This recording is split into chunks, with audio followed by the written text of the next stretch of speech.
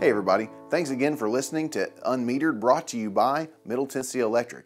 Middle Tennessee Electric is a member-owned not-for-profit electric cooperative that's been serving its members since 1936. So if you receive a bill from Middle Tennessee Electric, just know that you're not just a customer, you're a member and membership has its benefits. This week we've got a story for you called Sir Robert and the Knights of the Round Screen. But before we get to that, just a quick, just a couple quick tips for you uh, to be aware of in the event that you do experience an outage uh, during spring storm season.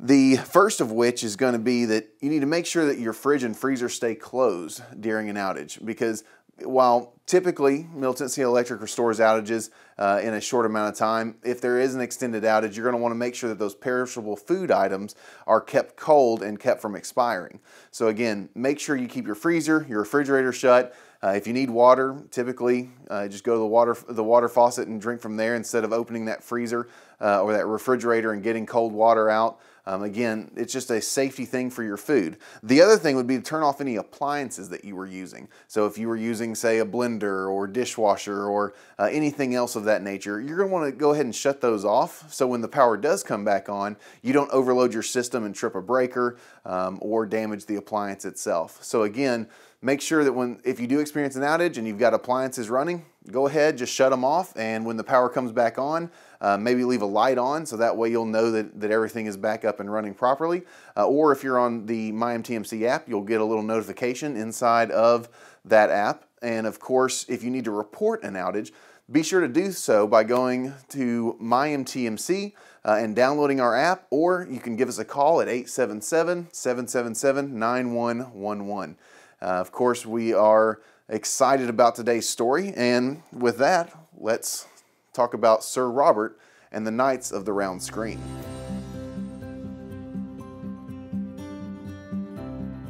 Tennessee weather is best described as unpredictable. You could be wearing a pair of shorts for breakfast and then need a parka by the afternoon. The weather changes more in one week than a kid changing crayons for his favorite coloring book. But when it changes from sunny and a high of 72 to severe thunderstorms in a matter of hours, where do you go to to find out what's going on? No matter where you go for the answer, there's one common thread Sir Robert Watson Watt. Sir Robert isn't a traditional knight like you re read about in storybooks. He's not the kind of knight that slayed dragons or saved damsels in distress with a sword and a shield. In fact, Sir Robert influenced the outcome of real battles without ever stepping foot on the battlefield. When he was born on April 8, 13th in 1892 in Scotland, his parents had no idea that he would be knighted 40 years later or would be awarded the U.S. Medal for Merit in 1946. The son of a carpenter and a cabinet maker, Sir Robert graduated in 1912 from the University of Dundee with a degree in engineering. He decided to take an assistantship with the university upon graduation and studied wireless telegraphy, now commonly called radio. In 1916, two years after World War I had broke out, he decided to change jobs, a decision that would lead him to his greatest achievement.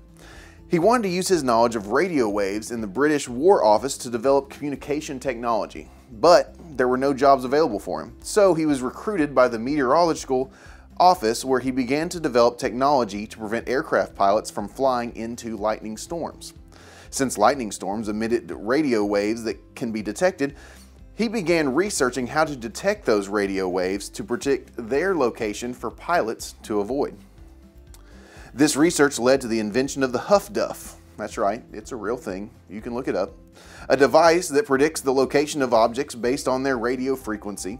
The military realized the importance of tracking radio wave frequencies, and the Huff Duff became an important tool to find German U boats in the English Channel.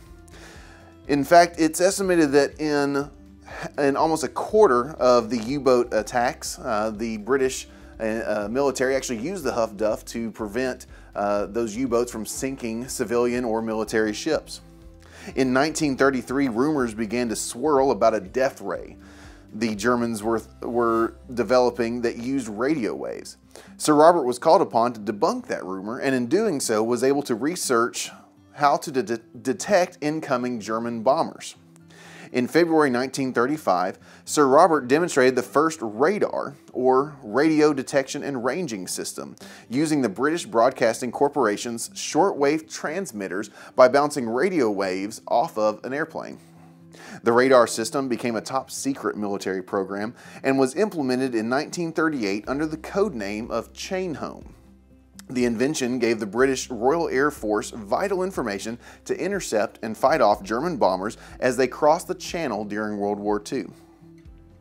During World War II, radar operators saw echoes on their screen caused by different types of weather. After the war, American meteorologist David Atlas and his team took radar technology and developed the first weather radar. Now, Atlas and his team determined that different types of precipitation created different types of radio and electromagnetic waves, which could be tracked by radar.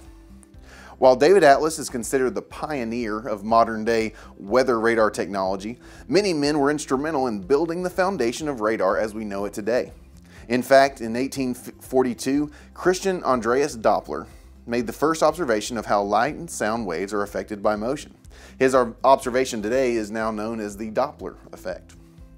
Heinrich Hertz discovered radio waves and James Clerk Maxwell discovered electromagnetic fields, which combined with Sir Robert's radar technology gave birth to the modern, modern day weather radar which Middle Tennessee Electric and the National Weather Service relies on for weather predictions. Today, there are many types of radars, including Doppler radar. There's weather radars, which are a type of, of Doppler radar, and it uses pulses to determine the speed and direction of meteorological events. The radio waves are reflected back and deciphered to give us the information we need to decide if we need to grab an umbrella or a pair of sunglasses before running out the door. And that's the unmetered story of how Sir Robert Watson Watt created the first radar system, the foundation upon which Doppler radar was built, and one of the tools at Middle Tennessee Electric that we use every single day.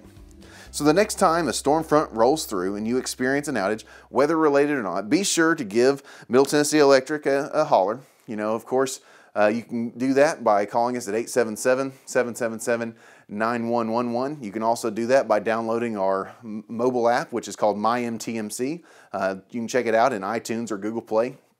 Download that app and you'll see a button on the left hand side that says outage, uh, report an outage.